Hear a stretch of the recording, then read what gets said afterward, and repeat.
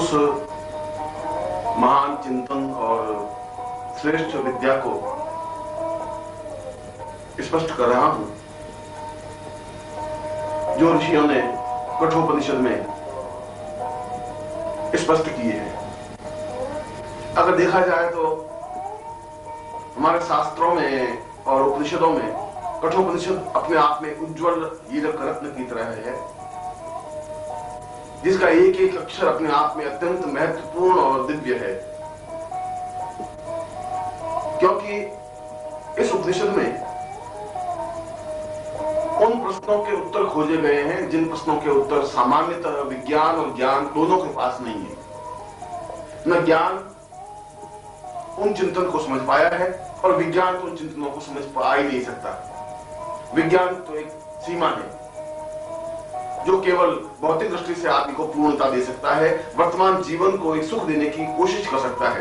जीवन के जटिल प्रश्नों को ढूँढने में और जटिल प्रश्नों को सुलझाने में विज्ञान सहायक नहीं हो सकता।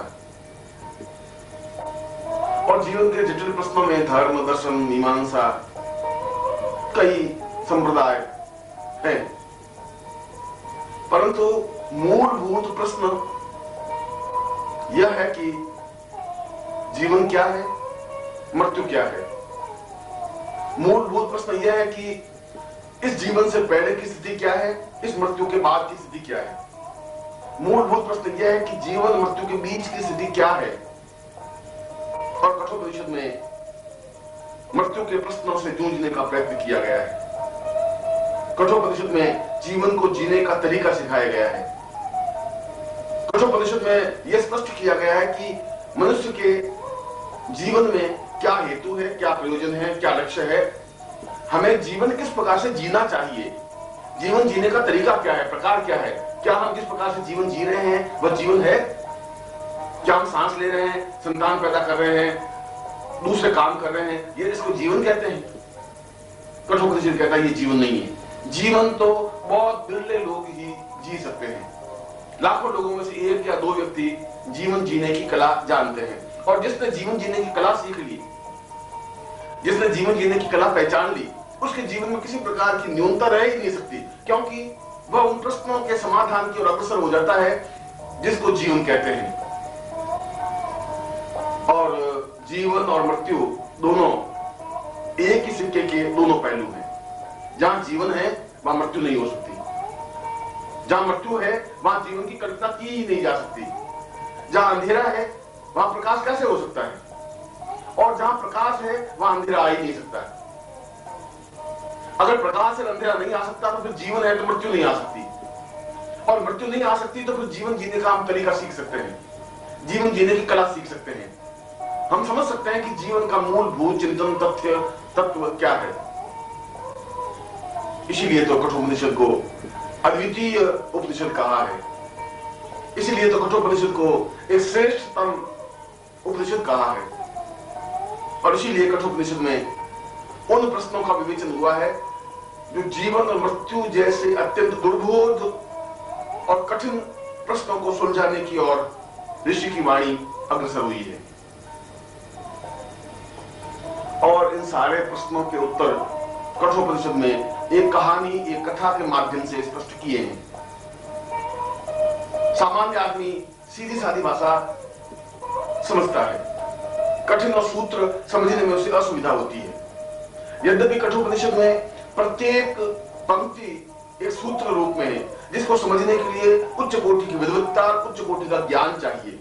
सामान्य आदमी कठोपनिषद को समझ ही नहीं सकता। पढ़ तो सकता है गुन सकता है, मगर उसके मर्म को नहीं समझ सकता। क्योंकि उसके मर्म को समझने के लिए उस प्रकार की भावभूमि चाहिए, उस प्रकार का ज्ञान चाहिए, उस प्रकार का चिंतन चाहिए।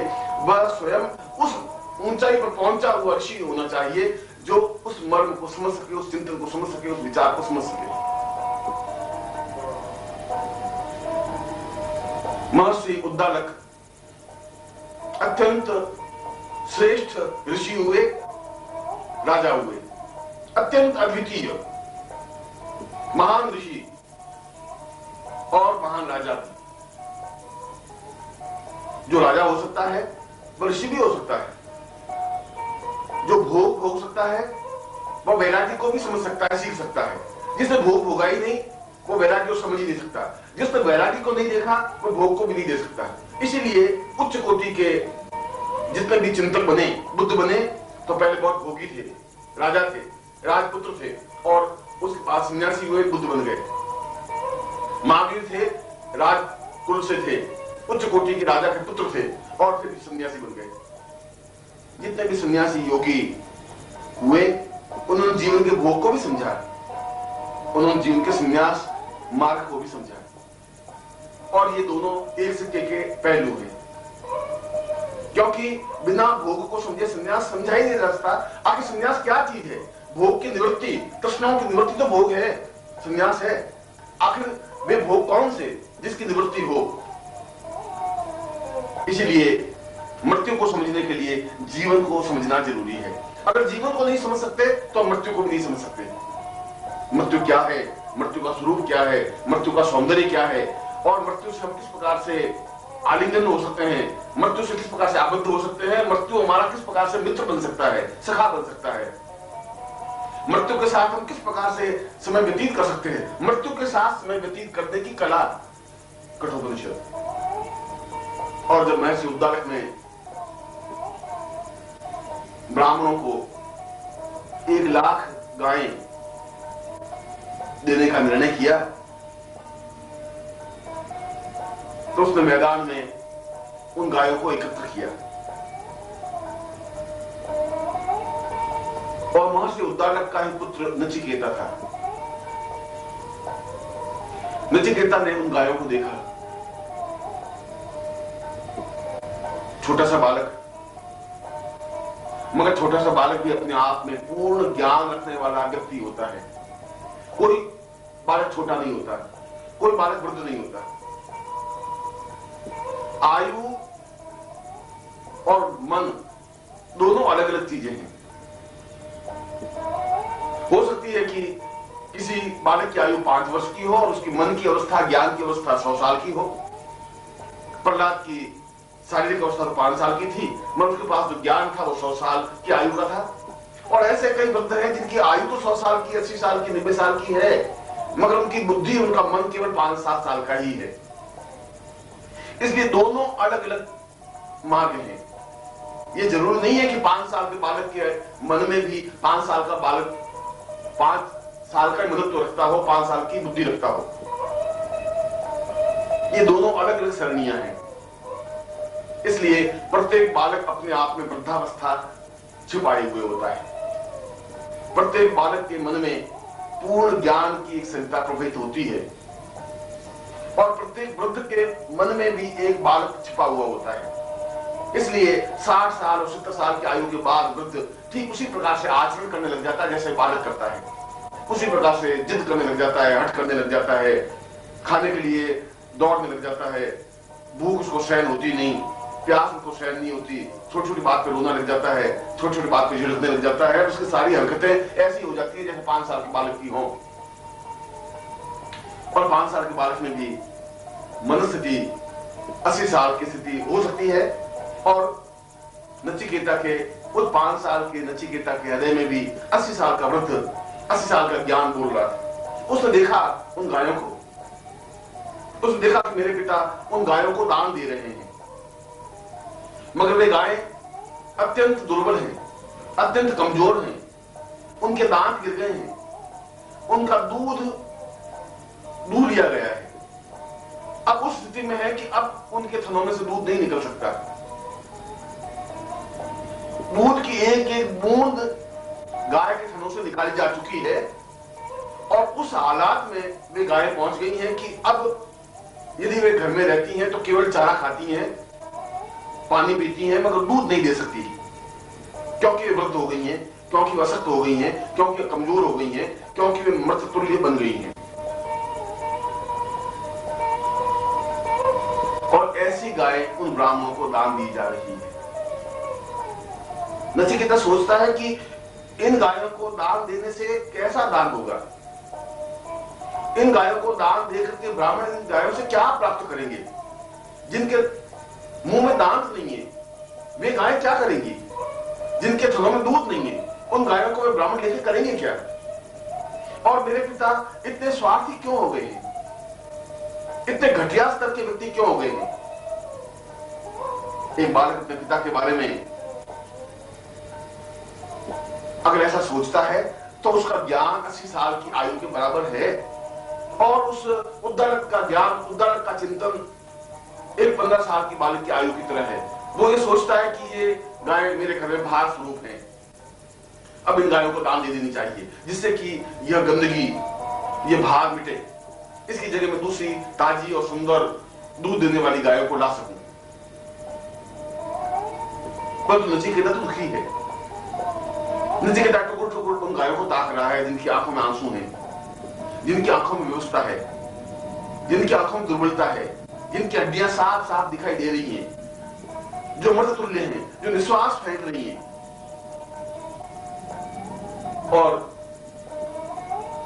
ये हमारा दुर्भाग्य है और ये हमारी घटियापन है कि हम दान उस चीज़ का देते हैं जो चीज़ हमारे लिए व्यर्थ होती है। ये हमारी बुद्धि है, ये हमारा तर्क है, ये हमारी चालाकी है दूरता है कि हम दान भी देते हैं तो उस चीज़ का दान देते हैं जिस चीज़ की हमें कोई ज्ञान नहीं होता, जिस चीज़ की ज़रूरत नहीं होती। जो घर में व्यर्थ होती है। जो घर में व्यर्थ होती है, उसको दान दे देते हैं। मगर ऐसा दान तो अपने आप में दान नहीं कहलाता।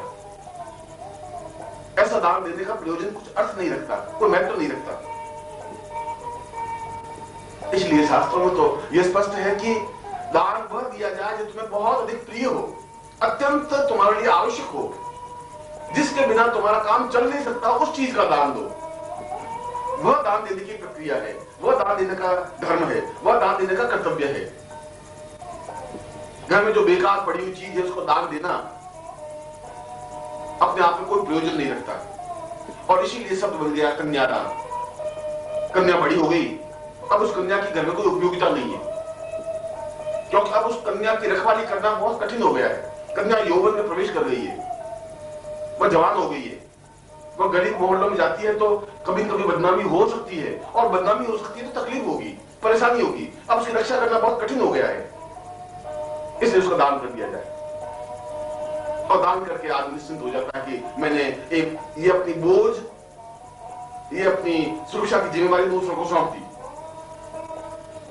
इसलिए तो ऐसा शब्द बना।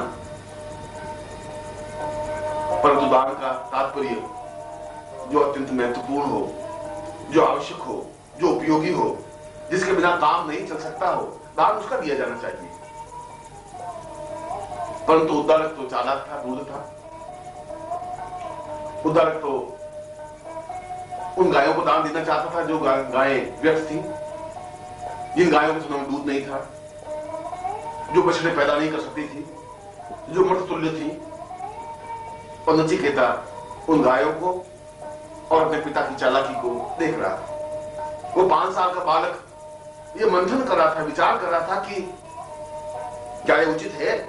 क्या इसको दान दिया जाना चाहिए? क्या इस प्रकार का दान अनुकूल है? और क्या यह परंपरा मेरे पिता से मुझ तक और मेरे पीढ़ियों तक जाएगी तो क्या यह उचित रहेगा? यदि इस दुर्बुद्धि को यही नहीं रोका गया तो आने वाली पीढ़ियाँ एक अजीब सी बीमारी से ग्रस्त हो जाएँगी और वे उस प्रकार का दान देने की कोशिश करेंगी जो दान उनके लिए व्यर्थ है। मैं पिता के पास गया, नचिकेता उद्दालक के पास गया और हाथ जोड़ करके पिता को पूछा, कहा, आप ये गाय दान में क्यों दे रहे हैं? इन गायों को दान देने से क्या लाभ होगा? ये गाय तो वृद्ध हो गई है। अब ये गाय सुंदर बछड़े उत्पन्न नहीं कर सकती। अब इनकी गाय, इन गायों के थनों में दूध नहीं है। अब इन गायों के शरीर में मांस नहीं है, रक्त नहीं है। ये मर्द तुल्य हैं। ये साल, दो साल में मर जाएँगी। इनको दान देने से ब्राह्मणों का क्या हित होगा? ब्राह्मण गायों को लेकर क्या करेंगे? और ब्राह्मण तो लालच बस इन गायों को ले भी लेंगे। या भयवश ले लेंगे कि राजा दान दे रहा है, नहीं लेंगे तो कल राजा दुख दे सकता है, तकलीफ़ दे सकता है राजा निकाला कर सकता है। जो भय के मारे या लालच के मारे इन गायों को दान में ले लेंगे, मगर आप ये गाय दान में क्यों दे रहे हैं? इन गायों को दान देने का क्या प्रयोजन है? क्या उचित है? क्या मर्यादा अनुकूल है? एक छोटा सा बालक, अगर पिता को ऐसा प्रश्न करे तो क्रोध आना स्वाभाविक है। क्योंकि पिता तो क्रोध है। पिता ये समझता मैं बड़ा हूँ, मैं बड़ा हूँ, इसलिए क्रोध करना मेरा धर्म है, मेरा कर्तव्य है। मैं क्रोध कर सकता हूँ। और जहाँ पर भी उस अहम पर चोट लगती है, जिस व्यक्ति की भूल पर, दोष पर चोट लगती है तो क्रोधित होता ही है।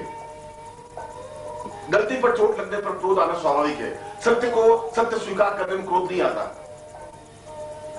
मगर यदि किसी के मन में पाप है, किसी के मन में छल है, किसी के मन में झूठ है, और उस पर अगर प्रहार किया जाए तो क्रोध आना स्वाभाविक है। उद्दालक के मन में भी चोट था।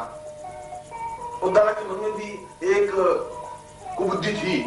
वो समझ रहा था कि मुझे इस गायों के समूह को जो फालतू घास खा रही है, जो फालतू पानी पी रही है, जो व्यर्थ है, इनको निकाल देना चाहिए। ये चोर, ये धूर्तता, ये छल, उसके मन में था और नचिकेता ने इसी छल पर प्रहार किया। इसी छल पर उंगली रखी। इसी घाव पर उसने उंगली रख करके पूछा कि क्या ये गाय डाल देना उचित है?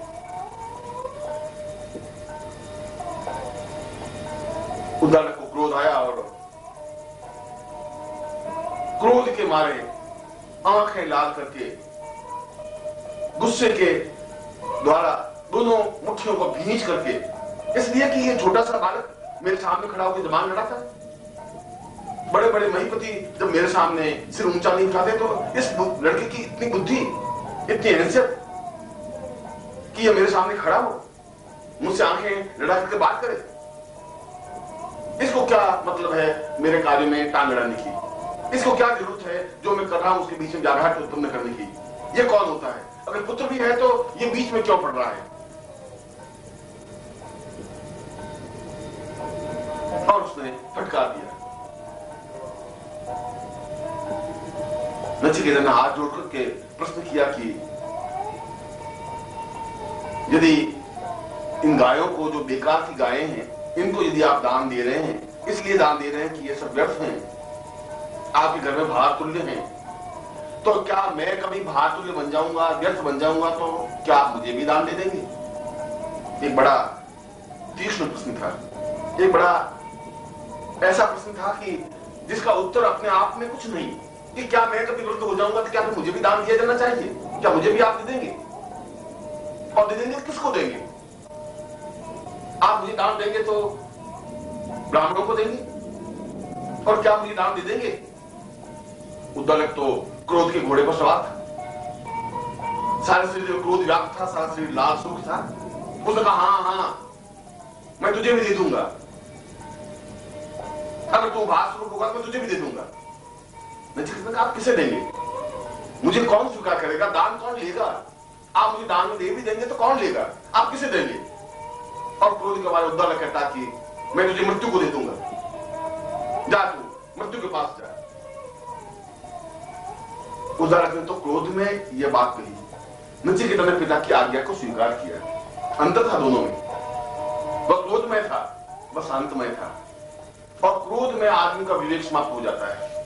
क्रोध में आदमी को यह ज्ञान नहीं रहता कि मैं क्या कह रहा हूँ, किसको कह रहा हूँ। जो अपने अंग है, जो पुत्र है, उसको यदि वो कहता है तुझे मृत्यु को मैं देता हूँ इससे ज़्यादा क्रोध की स्थिति क्या बनती है?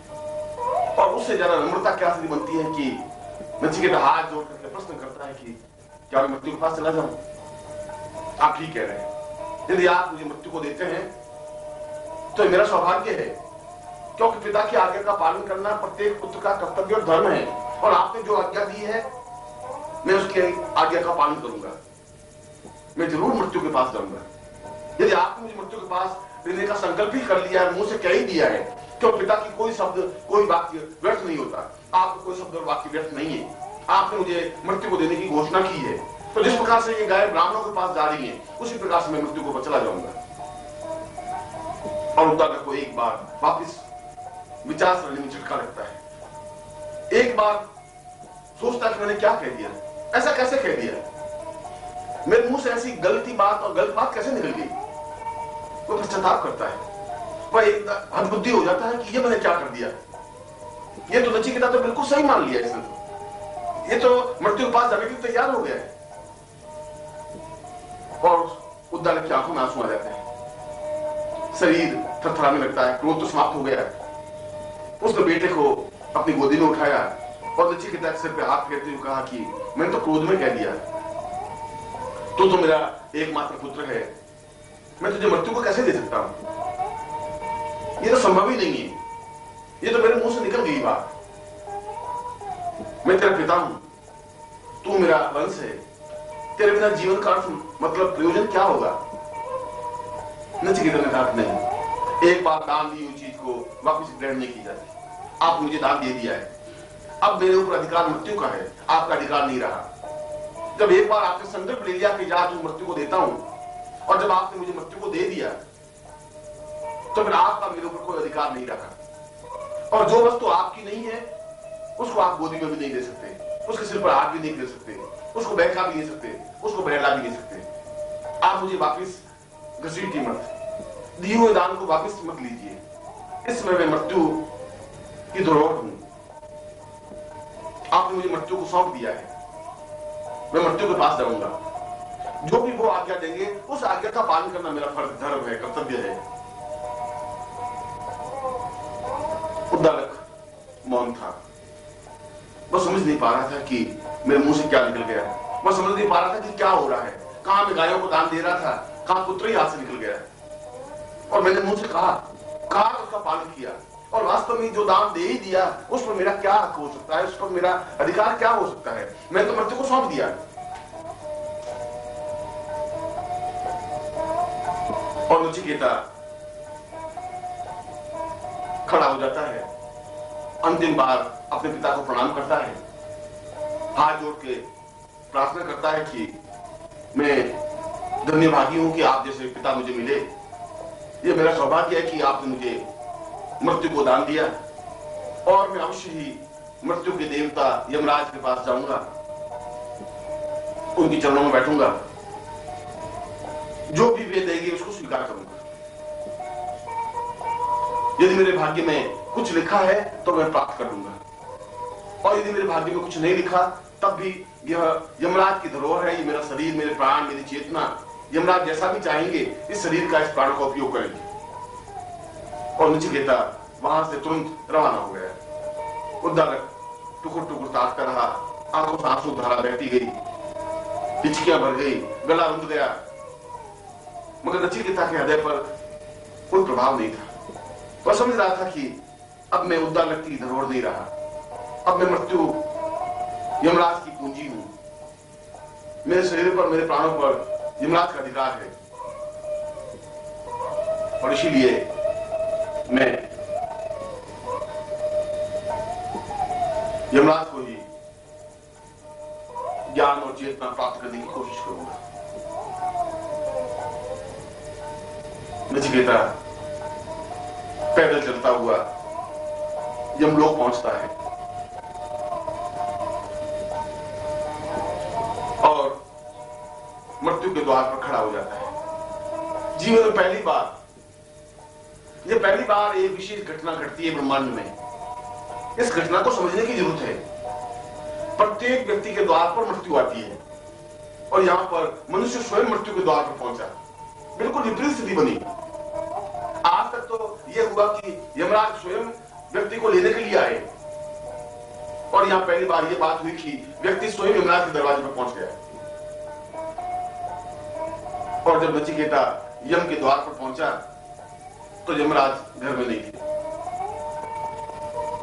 और जो हिम्मत और हौसला रखता है, जो साहस रखता है, जो तेजस्विता रखता है, जो मौत को गले लगाने की तैयार होता है, जो मौत के दरवाजे पर पहुँच जाता है, वहाँ मौत नहीं मिलती। मौत तो कायरों को मिलती है। जो कायर दुबक करके घर में घुस जाते हैं, कपड़ों में छुप जाते हैं, पलंग पर ओढ़ करके लेट जाते हैं, मौत उनको दबोचती मगर जो पैदल चल करके मौत के दरवाजे पर पहुँच जाते हैं, वहाँ मौत नहीं प्राप्त होती।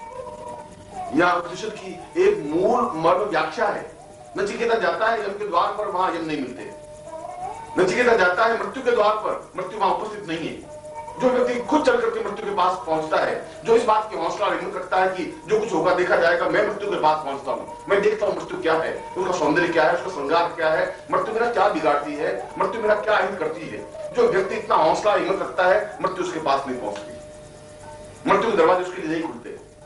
उसके लिए मृत्यु के दरवाजे खुलते हैं और मृत्यु के दरवाजे खुलते हैं, जीवन के दरवाजे खुलते हैं, पूर्णता के दरवाजे खुलते हैं। क्योंकि मृत्यु कार्यों को प्राप्त होती है।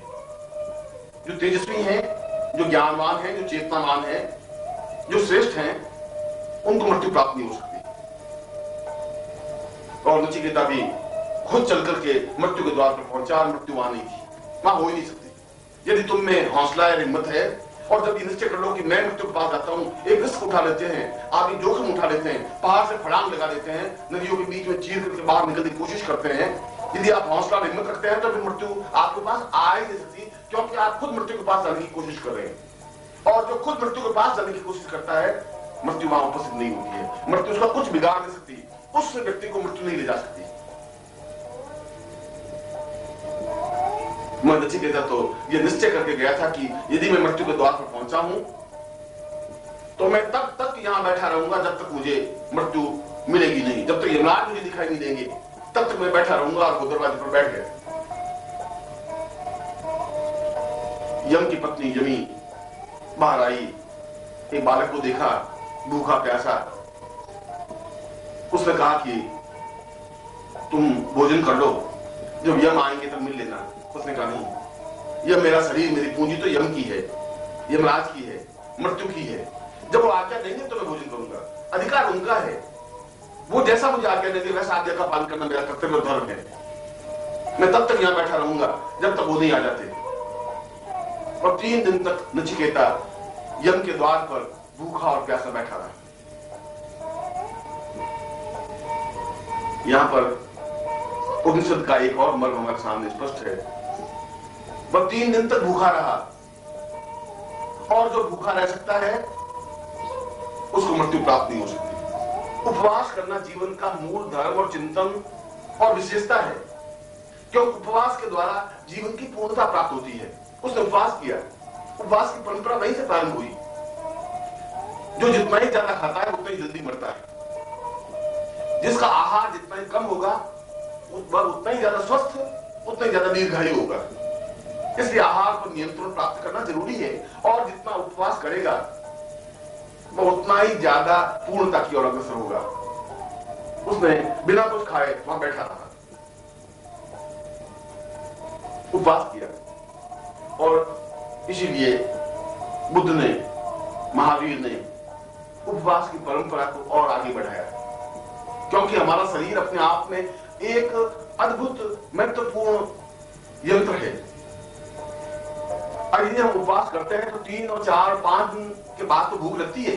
चार, पाँच दिन तक तो हम भूख से ऐसे ही होते हैं। बिना भोजन के रह नहीं पाते। मगर उसके बाद हमें भूख की कोई इच्छा नहीं होती। फिर भूख नहीं लगती। छठे दिन हमें भोजन करने की इच्छा होती नहीं। क्योंकि शरीर अपने आप में हमारे अंदर जो स्टोरेज है, हमारे अंदर जो बचा हुआ मांस है, उस मांस को पिघला करके शरीर अपनी सुरक्षा कर देता है। यह शरीर की बहुत बड़ी विशेषता है। दस दिन बाद एक पौंड मांस कम हो जाता है, वज़न कम हो जाता है। व्यक्ति ज़िंदा रहता है मैं उसका वज़न कम हो जाता है क्योंकि उस जीवन ने, उस शरीर ने, उस मांस को ही भोजन के रूप में स्वीकार करना शुरू कर दिया। उसको पिघला करके अपने शरीर को जीवित रखने का, उष्णता देने का प्रयत्न चालू कर दिया। यही तो उसकी विशेषता थी। इसलिए उस उपवास की परंपरा में,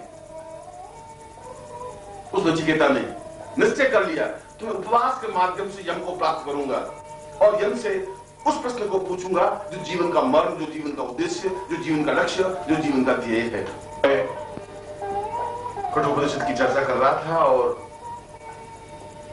ये बता रहा था कि नचिकेता तीन दिन तक भूखा प्यासा यम के द्वार पर बैठा रहा, मृत्यु के द्वार पर बैठा रहा। चौथे दिन यम आए।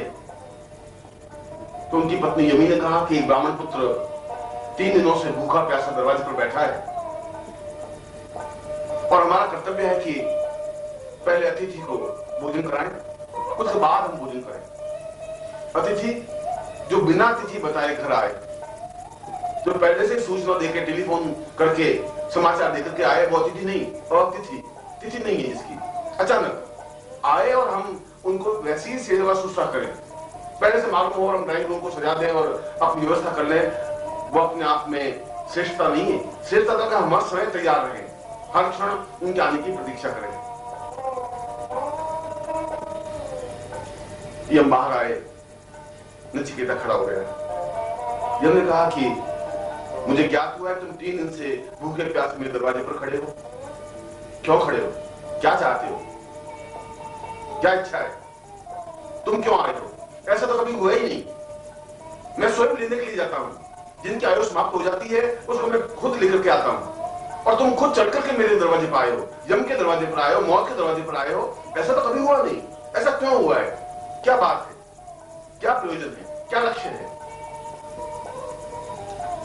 मछली ने कहा मेरे पिता ने आपको सौंप दिया है। अब इस शरीर पर, मेरे मन पर, मेरे प्राणों पर, मेरी चेतना पर आपका अधिकार है। आप जो भी आज्ञा देंगे मैं उसका पालन करूँगा। और आपने पूछा है कि मैं किस प्रयोजन से आया हूँ? मेरा क्या उद्देश्य है? मेरा क्या लक्ष्य है? तो मेरा लक्ष्य और उद्देश्य यह है कि मैं उस विद्या को जानना चाहता हूँ, उस क्रिया को जानना चाहता हूँ कि जिसके माध्यम से मृत्यु से परे हो सके। किस क्रिया से हम मृत्यु से पार जा सकते हैं? मृत्यु हमारा कुछ भी बिगाड़े नहीं। मृत्यु हमें लेने के लिए आवे ही नहीं। क्या कोई ऐसी विद्या है क्या कोई ऐसी तरकीब कोई स्थिति है जिसकी वजह से हम मृत्यु को जीत सके, मृत्यु पर विजय प्राप्त कर सके? मैं आप पर विजय प्राप्त कर सकूँ? ऐसी क्या स्थिति है, क्या स्टेज है? कौन सा चिंतन है? कौन सी साधना है? जब ने कहा कि तुम तीन दिन से मेरे दरवाजे पर भूखे प्यासे बैठे रहे हो। इसलिए तुम तीन वरदान मांग लो और मैं तुम्हें तीनों वरदान दूँगा।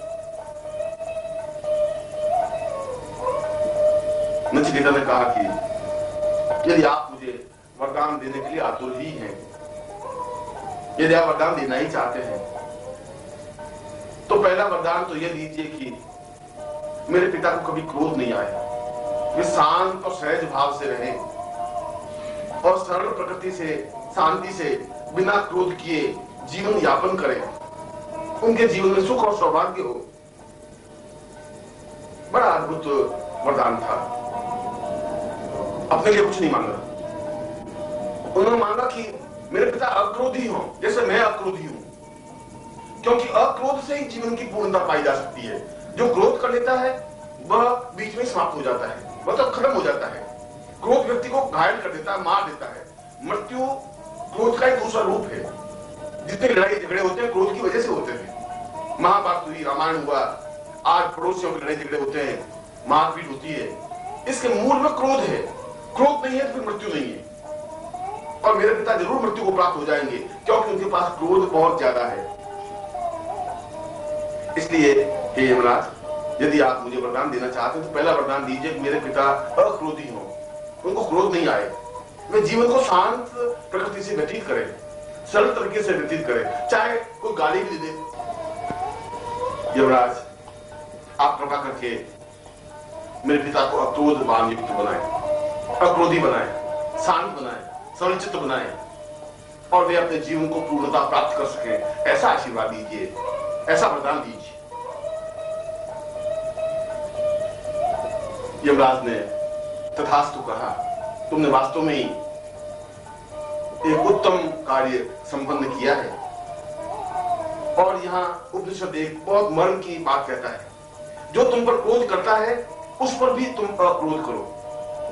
पिता ने नचिकेता पर क्रोध किया, गाली दी, यम को दे दिया, मृत्यु को दे दिया, फिर भी नचिकेता के हृदय में उनके प्रति क्षमा भाव था। फिर भी उसके मन में क्रोध नहीं था। उस क्रोध करने वाले व्यक्ति पर भी अक्रोधवान नचिकेता बने रहे। यही तो जीवन का मर्म है। उपनिषद की यही तो व्याख्या है कि जो हमारा अहित सोचे, जो हमें गाली दे, जो हमें मारने के लिए तैयार हो जाए जो हमें मृत्यु को देने के लिए तैयार हो जाए, उस पर भी हम अक्रोध करें। उस पर भी हम करुणा की वृष्टि करते रहें। उस पर भी हम दया करें। उसके लिए भी हम अच्छा ही सोचें। नचगीरा ने ऐसा ही किया। जब ने कहा कि तुम दूसरा वरदान भी मांग लो। नचिकेता ने कहा कि यदि आप मुझे दूसरा वरदान देना चाहते हैं तो मुझे अग्नि विद्या दीजिए, जिस विद्या के द्वारा मैं जीवन की पूर्णता प्राप्त कर सकूँ, जिस विद्या के द्वारा मैं अपने जीवन को अग्निमय बना सकूँ, क्योंकि उस अग्नि में स्वरूप में ही मेरे जीवन की पूर्णता संभव है। यहाँ पर उपदेश सरकार ने एक बहुत महत्वपूर्ण बात कही। हमारा शरीर इसलिए उष्ण है, इसलिए स्वस्थ है, इसलिए जीवित है कि वह अग्निमय है। अग्नितत्व प्रधान है। जिस समय अग्नितत्व प्रधानता क्षीण हो जाती है, शरीर ठंडा हो जाता है, शरीर मृत्यु को प्राप्त हो जाता है। जब तक शरीर में अग्नि है, तब तक शरीर मृत्यु को प्राप्त हो ही नहीं सकता। और नचिकेता यहाँ बहुत एक मर्म की बात पूछ लेता है, बहुत महत्वपूर्ण बात पूछ लेता है। वो कहता है कि मुझे अग्नि विद्या को सिखाइए। जिसके द्वारा मैं निरंतर अपने हृदय में, अपने शरीर में, अपने प्राणों में अग्नि को प्रज्वलित बनाए रखूँ। और यह प्राणाग्नि होनी चाहिए। प्राणाग्नि का द्वारा है मतलब है प्राण को अग्नि में बना देना, चेतना को अग्नि में बना देना। जिस अग्नि में, जिस प्राणाग्नि में मेरा क्रोध खत्म हो जाए, मेरा लोभ खत्म हो जाए, मेरा मोह खत्म हो जाए, मेरा ज्ञान खत्म हो जाए, मेरे जीवन की चिंताएँ खत्म हो जाए उस अग्नि में जल करके भस्म हो जाए, मैं उस ऐसी अग्नि विद्या को चाहता हूँ। उस अग्नि विद्या को सीखना चाहता हूँ, जिसके द्वारा मैं एक तेजस्वी पुंज बन सकूँ तेजस्विता युक्त बन सकूँ। मेरे शरीर में एक विद्युत प्रवाह निकल सके, मेरे चारों तरफ़ आभा मंडल बन सके। मैं जीवन के उन मर्मों को स्पष्ट कर सकूँ, जिन मर्मों के द्वारा, जिन सत्यों के द्वारा, जिन तथ्यों के द्वारा जीवन को पूर्णता दी जा सकती है। पूरे संसार को एक ज्ञान, एक चेतना, एक श्रेष्ठता दी जा सकती है। और वास्तव में अग्नि विद्या जीवन की श्रेष्ठतम विद्या है। जिसने अग्नि विद्या को प्राप्त कर लिया, उसके जीवन में और कोई विद्या प्राप्त करने की आवश्यकता ही नहीं रही। और कोई विद्या जीवन की ज़रूरी है ही नहीं। क्योंकि अग्नि विद्या का तात्पर्य यह है कि हम सही अर्थों में ब्रह्ममय बन सके। एक सामान्य मनुष्य से ब्रह्म तक पहुँचने की क्रिया को अग्नि विद्या कहा गया है। अग्नि विद्या का तात्पर्य है कि उन मंत्रों के माध्यम से, उस चेतना के माध्यम से, उस क्रिया के माध्यम से इस शरीर को अग्निपुंज बना दिया जाए। अत्यंत शांत, अत्यंत सरल, अत्यंत तेजस्वी, अत्यंत महत्वपूर्ण। और ऐसा अद्वितीय व्यक्तित्व, जिसमें क्रोध नहीं हो, जिसमें छल नहीं हो, जिसमें पाप नहीं हो, जिसमें पाखंड नहीं हो, जिसमें विचार नहीं हो। और ऐसा तेजस्वी पुंज तो ही जीवन की महानता कहा जाता है। महापुरुष बनने की यही तो परिभाषा है। इसी को तो देवत्व कहा जाता है, इसी को श्रेष्ठत्व कहा जाता है, इसी को ऋषित्व कहा जाता है। नचिकेता ने दूसरा वरदान अत्यंत महत्वपूर्ण मांगा। उस अग्नि मंत्र के माध्यम से अंदर की प्राणाग्नि को प्रज्वलित किया जा सकता है। यद्यपि शरीर में जठराग्नि है, और जठराग्नि का तात्पर्य है कि जो कुछ मैं भोजन करता हूँ, वह पचा सकूँ, उसका रस बना सकूँ, उसका रक्त बना सकूँ। और उस रक्त से अपने पूरे शरीर को जीवित रख सकूँ ये तो जठराग्नि हुई। जठराग्नि के द्वारा हम शरीर को जीवित बनाए रख सकते हैं। मगर प्राणों को जीवित बनाए रखने के लिए प्राणाग्नि की ज़रूरत है। और प्रत्येक के शरीर में प्राणाग्नि तो है, मगर वह बुझी हुई है। उसमें चेतना नहीं है, उसमें फुडिंग नहीं है, उसमें हलचल नहीं है। बस ठीक वैसी हुई कि हमारे घर में कोई वस्तु पड़ी है, हम उसका उपयोग जानते ही नहीं।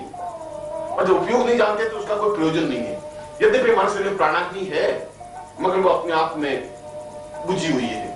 हमें यह भी पता नहीं कि प्राणाग्नि को कैसे प्रज्वलित किया जाए। और जब तक प्राणाग्नि प्रज्वलित होगी नहीं, तब तक साधन सिद्धियाँ प्राप्त होती नहीं, तब तक सफलता नहीं प्राप्त हो सकती। तब तक व्यक्ति उस मृत्यु को नहीं जीत सकता। मृत्यु को जीतने के लिए, अमृत्यु तक पहुँचने के लिए, अमरता प्राप्त करने के लिए, पूर्णत्व प्राप्त करने के लिए और सैकड़ों हज़ारों वर्षों की आयु प्राप्त करने के लिए पहली और अनिवार्य शर्त है कि हम प्राणाग्नि को प्रज्वलित करें। ओम प्राणासतम वै प्राणत्वम पूर्वदंताम पूर्वदमदि ऋषि की वाणी वेद में स्पष्ट होती है कि अगर मेरे जीवन का सौभाग्य हो तो मेरे प्राणाग्नि प्रज्वलित हो जाए, जो बुझी हुई है। जो शांत है, उस प्राणाग्नि का प्रज्वलन करके मैं जीवन के उन रहस्यों को ढूंढ सकूँ, जिसके माध्यम से जीवन की श्रेष्ठता प्राप्त हो सकती है। मैं इस मलिन देह को समाप्त कर सकूँ, इस गंदगी को समाप्त कर सकूँ, उस प्राणाग्नि में मेरे रोगों को समाप्त कर सकूँ, मैं वापस यौवनमान बन सकूँ स्फूर्तिमान बन सकूँ, चैतन्य बन सकूँ। मैं ऐसा बन सकूँ कि लोग मुझे देखें और एहसास कर सके कि वास्तव में पुरुषत्व क्या होता है, स्त्रित्व क्या होती है। अपने आप में अद्वितीय सौंदर्य प्राप्त कर सकूँ। और वह अद्वितीय सौंदर्य आकर्षणता दूसरों को समूहित करने की कला प्रणाली के माध्यम से संभव है। और जो वास्तव में अद्वितीय योगी सन्यासी होते हैं, उनके चेहरे में एक विशेष प्रकार का प्रभाव इफ़ेक्ट होता है। जो दूसरे को देखता है और सामने वाला सम्मोहित हो जाता है, मोहित हो जाता है। उस चेहरे को बोल नहीं पाता, उस आँखों को बुला नहीं पाता हर क्षण उसके मन में रहता है कि ज़रूर वह अद्वितीय व्यक्तित्व है, उसके चेहरे में कोई आकर्षण है, उसके आवाज़ में कोई जादू है। और यह आवाज़ में जादू, ये चेहरे का आकर्षण प्रणाग्नि जागृत होने पर ही संभव है। और लाखों करोड़ों व्यक्तियों में से किसी एक की प्राणाग्नि प्रज्वलित हो सकती है और प्रज्वलित हो सकती है गुरु चेतना के माध्यम से। यदि गुरु उसे ज्ञान दे सकता है तो क्योंकि इस अग्नि को प्रज्वलित करने की क्रिया तो केवल गुरु जानते हैं। वही जानते हैं कि किन मंत्रों के माध्यम से, किस क्रिया के माध्यम से यह प्राणाग्नि प्रज्वलित हो सकती है। और उसके लिए पूर्णत्व या प्राणाग्नि प्रज्वलित करने का अद्वितीय मंत्र क्रिया के माध्यम से संपन्न किया जा सकता है। एक विशिष्ट क्रियाएँ हैं और प्रत्येक क्रिया अपने आप में अद्वितीय है। उन सौ क्रियाओं के द्वारा, सौ बीजों का उच्चारण करना प्राणाग्नि प्रज्वलित करना है।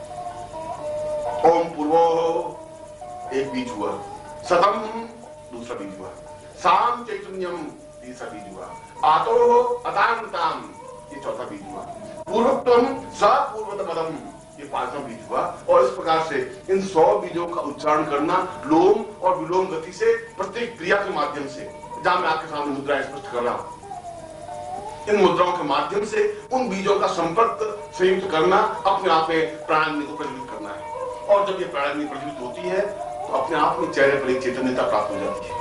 अपने आप में आँखों में एक रोशनी पैदा हो जाती है, एक चमक पैदा हो जाती है, एक तेजस्विता, एक प्रकाश पुंज पैदा हो जाता है।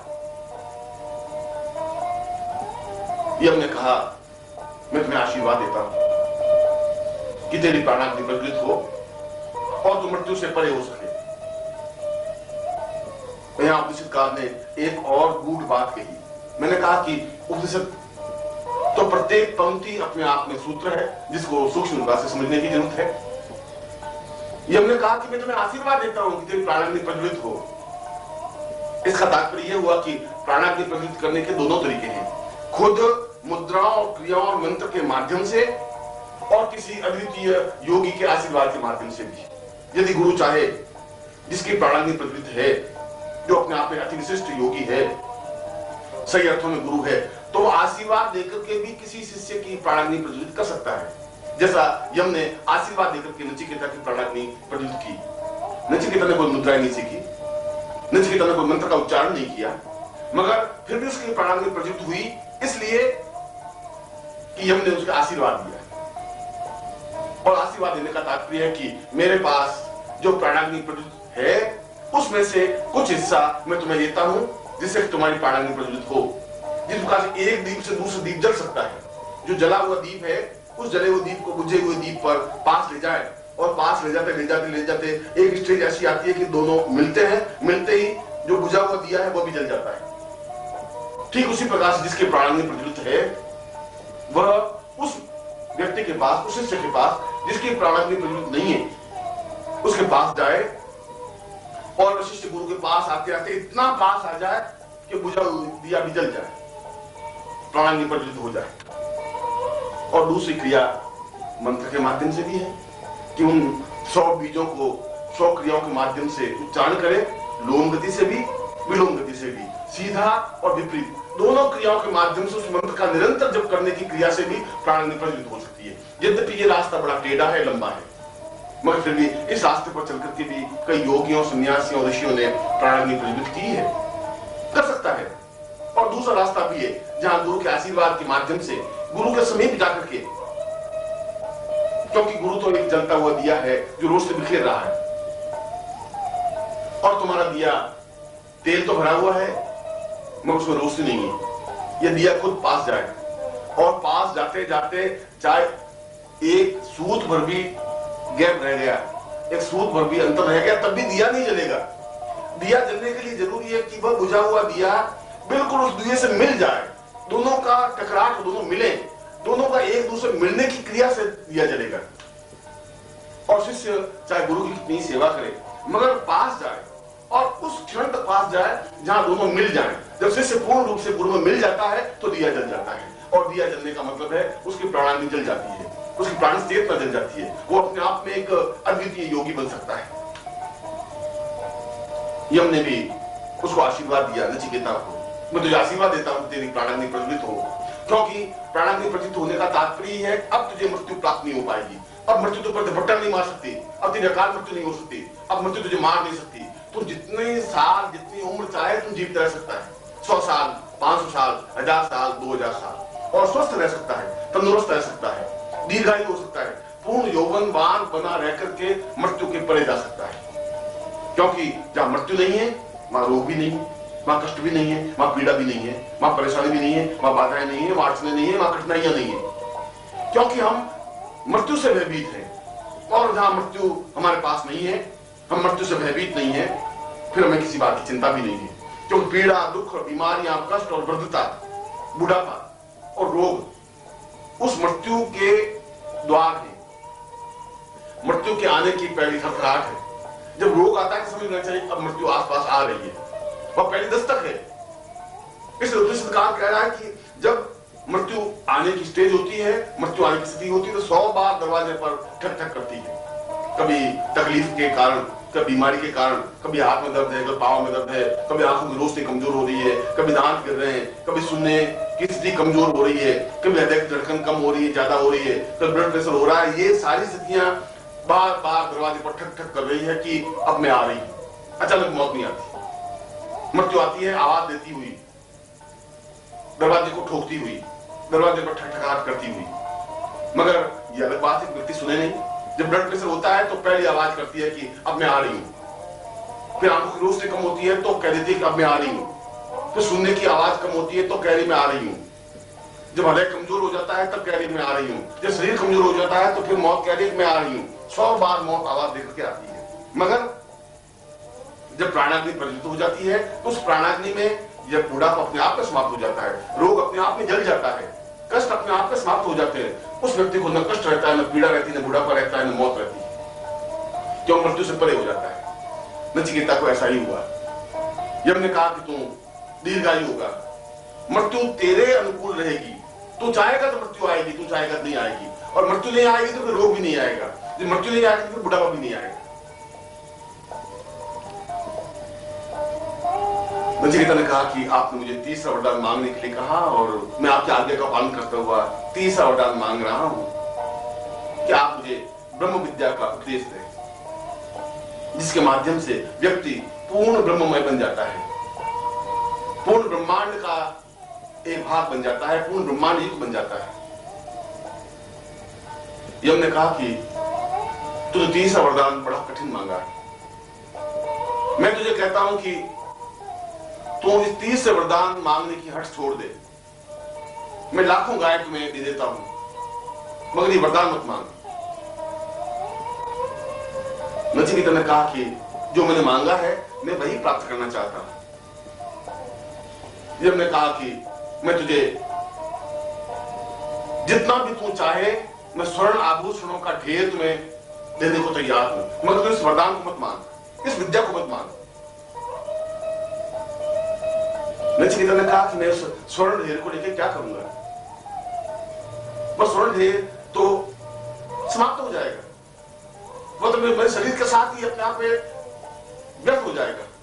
मैं तो उस ब्रह्म विद्या को जानना चाहता हूँ जो अपने आप में अमृत है, जो अपने अमृत कुंड है, जो अपने आप में सिद्धासन है, जो अपने आप में पूर्णता है, जो अपने आप में श्रेष्ठता है।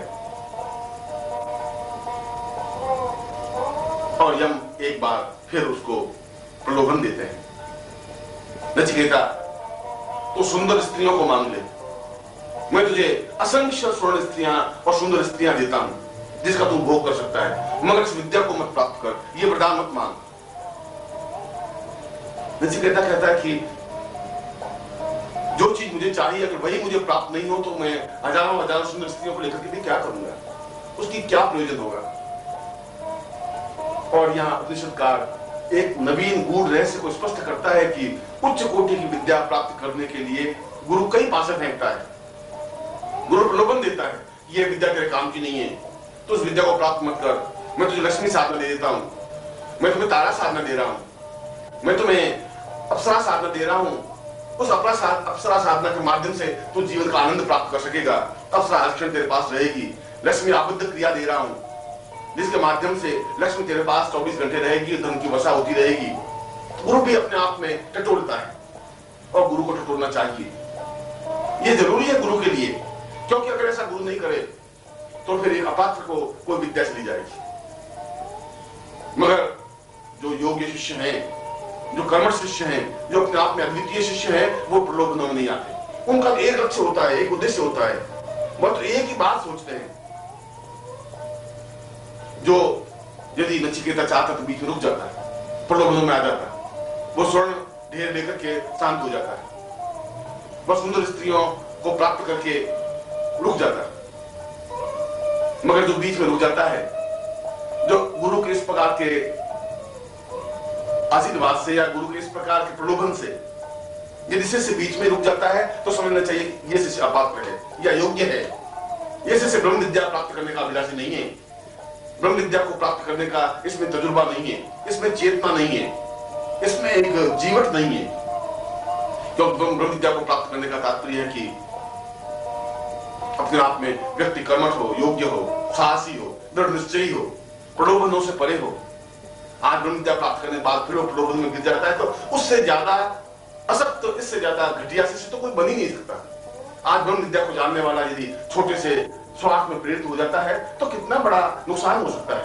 आज ब्रह्म विद्या को जानने वाला अगर शिष्य स्त्रियों के चक्र में पड़ जाता है तो कितनी बड़ी अहित तेज जाता है। इसलिए उसकी परीक्षा लेनी ज़रूरी है। उसको टोकना ज़रूरी है।